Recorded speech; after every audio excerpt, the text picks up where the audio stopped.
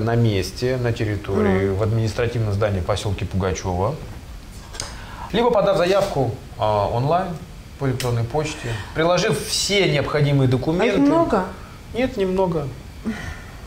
Перечень документов указан на сайте. Есть даже заявление, которое можно заполнить, скачать, распечатать, заполнить и предоставить. Единственное, там документы нужны на автомобиль. Ну да. Да, и в заявлении нужно заполнить маршрут следования. Ну, вы же понимаете, что, во-первых, эм, Дайте, пожалуйста, лук репчатый. Да, извините. То есть сейчас моя роль будет сводиться к «подай, унеси». Хорошо. Эм, Мне кажется, одна из проблем, если нужно получать разрешение, то это будет А. Очередь, Б. Не записаться, и потом все равно откажут по какому-нибудь принципу. Отказать могут лишь по причине А. Неявки на получение разрешения, это лично делается. Можно Б. прямо прийти. Конечно, и получить, потому что там ставится подпись, печать, она нумеруется, заносится в журнал и так далее. А второй вариант – это когда предоставлен не весь перечень документов. В зависимости Так. от того, что вы планируете делать. Если это однодневная поездка, это одна история. Если вы планируете отдохнуть не организованно, то есть не используя существующую инфраструктуру, это базы отдыха, это фермерские рестораны, там, которые сейчас у нас есть, функционируют, да, вот мы знаем Краснолесье, Дмитриевки, это охотничьи хозяйства, которые располагаются, то это немножко другая история. Если вы хотите заночевать на территории парка, поставив палатку, то это требует согласования с Ну, хотя бы палатку поставить можно. Можно. Ну. Все самое интересное либо пешком, либо на велосипеде. А для этого разрешения не нужно? Нет? А, это упрощает дело. Значительно упрощает. Такого рода экскурсии, пешие, велосипедные, они абсолютно не запрещены. Одна моя знакомая называет это лесными купаниями.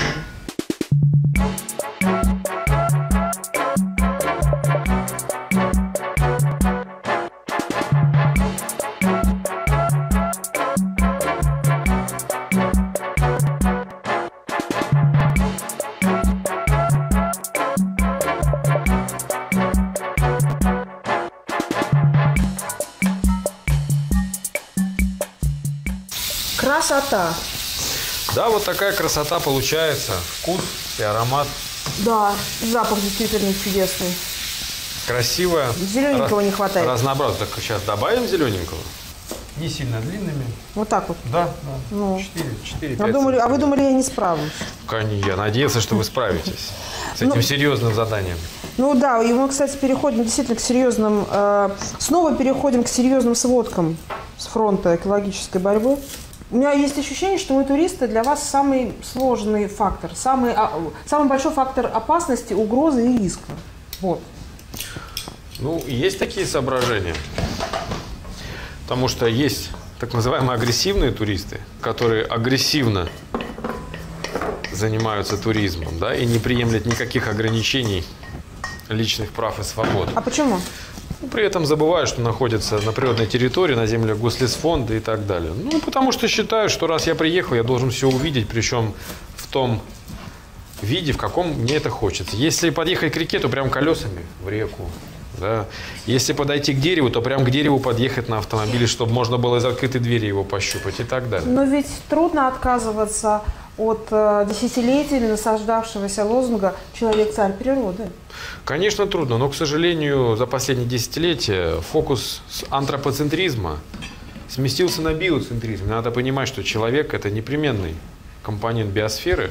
Часть И- природы, да? Да, конечно, и он должен бережно относиться к тому, что у него есть. В противном случае мы рискуем все это потерять. Ну, законы экологии же ведь тоже были открыты буквально недавно. Ну да, относительно недавно основные законы экологии да, были открыты во второй половине 20 века. Ну, это такие общеизвестные в обиходе фразы, как «ничто не дается даром», «природа знает лучше», «все должно куда-то деваться», За все и за, и за все нужно платить, да, совершенно верно. Человек подчиняется законам природы, даже действуя против них, об этом необходимо помнить. Хорошо, что мы, допустим, знаем, что, да, перед посещением парка Виштанецкий нужно, э, скажем так, обозначиться, правильно? Да, На дальних, верно. на дальних подступах причем. А что еще, кроме разрешения, можно у вас получить? Ну, помимо всего прочего, э, значит, у нас в дирекции можно получить информацию о том, введен ли на данный момент времени особый противопожарный режим, возможно ли вообще, реально ли посещение лесов.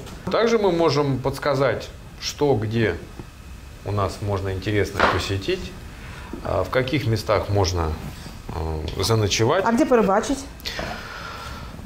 Насчет где порыбачить, это отдельная история.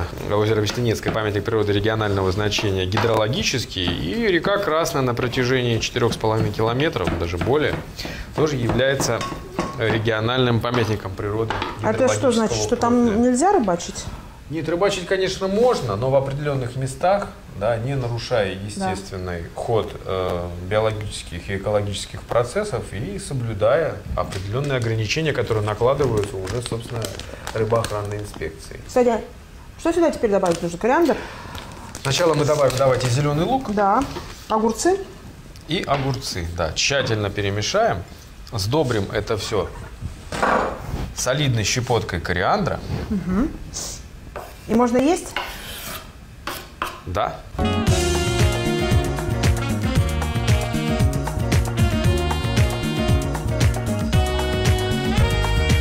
Фунчоза. Имбирь и чеснок очистить от кожуры и измельчить. Зеленый лук нарезать наискосок. Все прочие ингредиенты, кроме лапши, нарезать тонкими, примерно одинаковыми полосками. В глубоком сотейнике или в сковороде вок разогреть немного растительного масла. Быстро обжарить на сильном огне лук и морковь. Добавить имбирь, прогреть, затем положить болгарский перец и, в зависимости от вашего вкуса, грибы либо полоски мяса. Перемешать и тушить почти до полной готовности. В конце приготовления посыпать молотым кориандром, положить свежие огурцы и зеленый лук. Рисовую лапшу фунчозу залить кипятком, через минуту воду слить. Лапшу переложить в глубокое блюдо, добавить содержимое вока, быстро перемешать, по вкусу прибавить соевым соусом и подавать. При желании можно посыпать готовое блюдо белым или черным кунжутом.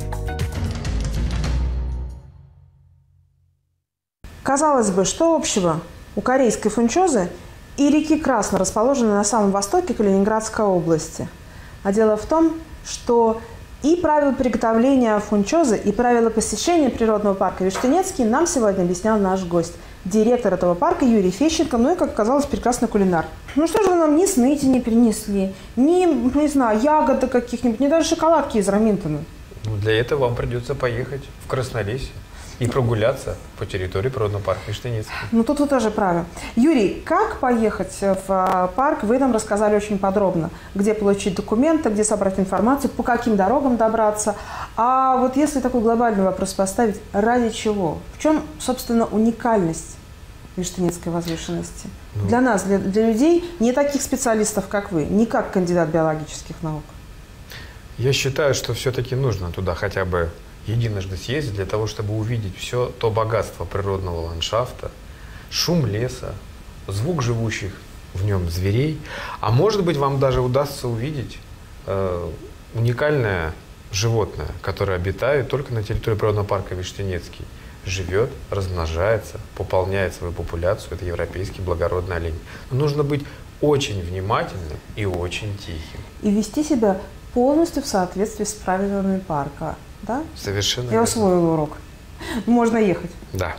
И действительно, ехать не просто можно, но и нужно. Время к тому располагает. И лето. Аж какой осенью красивый Виштанец. Особенно вот с обзорной площадки Ковчег. Конечно. Но это уже совсем другая история, которую мы обязательно расскажем в одном из выпусков программы «Дело вкуса» в эфире телеканала «Каскад». Уточнить все правила и все условия посещения парка Виштанецкий вы сможете на сайте дирекции. А уточнить все правила приготовления франчайза сможете в социальных сетях у группы программы «Дело вкуса» на Фейсбуке, ВКонтакте, в Инстаграме. Друзья, мы увидимся с вами, надеюсь, что в Краснолесье. Вам до той поры приятного аппетита и пока-пока. А к вам, Юрий, у меня только один вопрос остался. Это есть палочками или вилочками? По желанию. Кому как удобно. Генеральный спонсор программы сеть супермаркетов «Виктория». «Виктория». Здесь начинается дом.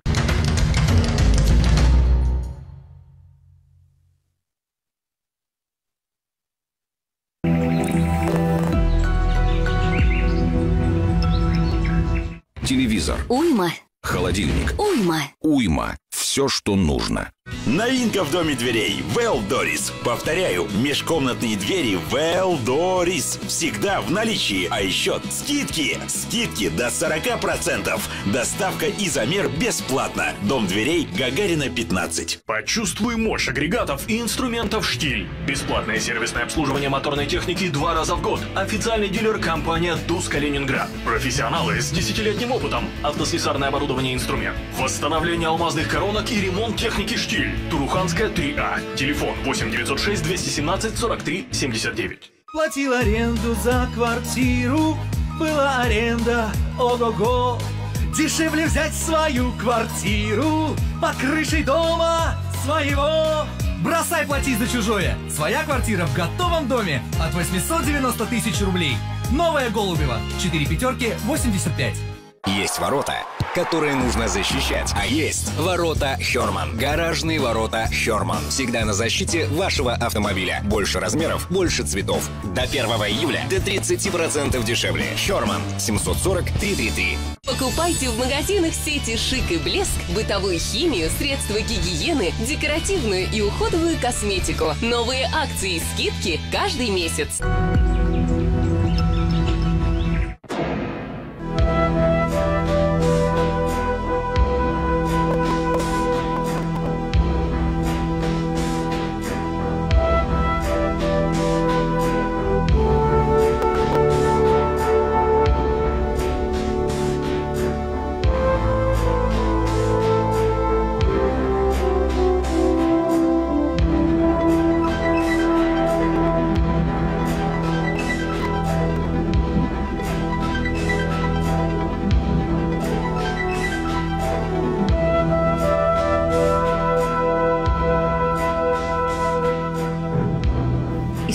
Это не только факты и события, это прежде всего люди и их судьбы.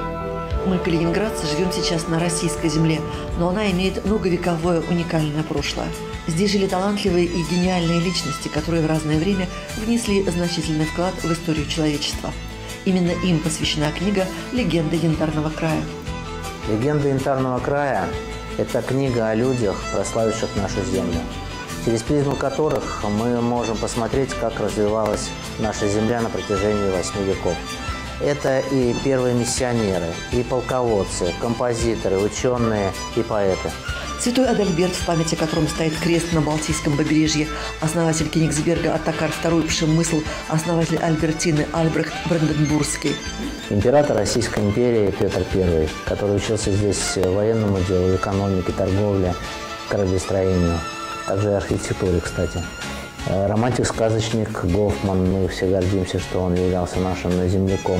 Генерал-губернатор Суворов Василий, отец прославленного нашего полководца Александра Суворова.